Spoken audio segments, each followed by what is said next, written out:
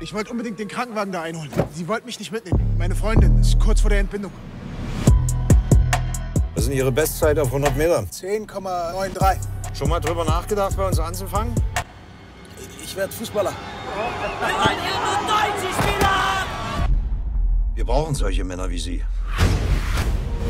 Weißt du auch, wie das ist, wenn du jederzeit zu Freiwild werden kannst? Glauben Sie, dass Sie es schaffen? ist eine Kampagne gegen den Hass. Deutschland ist auf dem rechten Auge blind. Ich bin kein Ausländer. Ich bin Deutscher.